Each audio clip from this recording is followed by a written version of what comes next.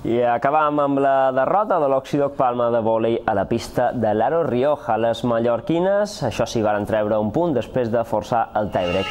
La receptora atacant Martina Frankova va tornar a ser la, la millor de les mallorquines amb 22 punts, però no va evitar la tercera derrota de l'Oxidoc Palma. I això que l'equip va guanyar el primer set per 21 a 25, però l'aposta Alejandra García i el públic varen capgirar el marcador. L'Oxidoc va poder forçar el tiebreak, però allà les locals varen ser millors. Un punt un punt que deixa l'equip de David Pérez amb 3 a la novena posició.